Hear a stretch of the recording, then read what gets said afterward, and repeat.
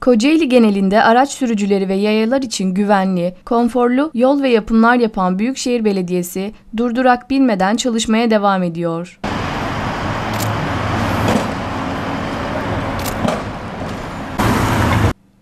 Şehir içi ulaşımda vatandaşların rahatını ve konforunu düşünen büyükşehir ekipleri bu bağlamda Gebze'nin en işlek yerlerinden biri olan Körfez Caddesi'nde mevcut kaldırımları genişletiyor.